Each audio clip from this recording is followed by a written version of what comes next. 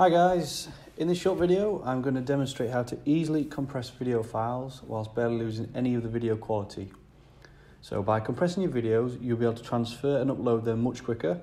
As an analyst or coach I understand it's a fine balance between keeping the video quality high whilst minimising the file sizes. So the program I'm going to use to do this is called Handbrake. So Handbrake is a completely free video transcoder that you can download for both Windows and Mac.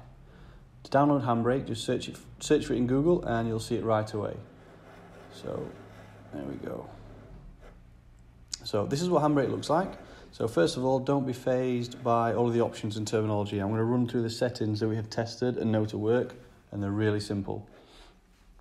Okay, so the first thing you need to do is select the video that you want to compress. You do this by clicking the source here in the top left.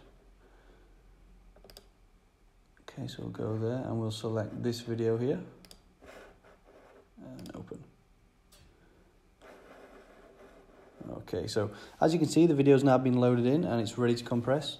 So the first thing I always do is change the name of the output file so I can distinguish it from the original. So in this example, I'm just going to add the word compressed to the end. Okay, so next we want to go ahead and tick this web optimized. Okay, so once that's done, the next step is to choose how much to compress the file by. So this slider is basically a scale. So the more we move the slider to the left, the smaller the file will become. But this will also reduce the quality, so it's about finding the correct balance. As you can see, there we go.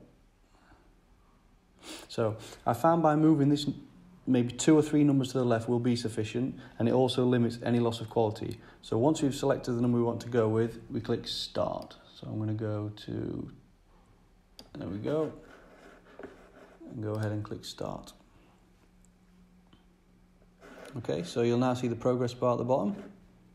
So whilst that's working, I'll show you one that I did earlier. I did do a few attempts, um, each with a little bit more compressed than the other. So if I get those videos up, Okay, so as you can see, three ones that I did earlier, and the file sizes. We've got 2 gig, 2.3, 2.56. The original file was 3.2.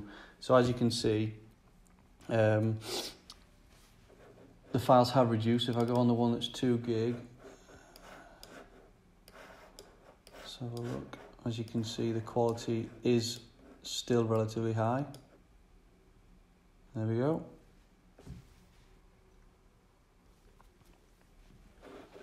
So yeah, I mean this this one this example in particular has reduced the file size by around 40% whilst keeping the quality. So if you found this video helpful, give it a like or share and thanks for watching.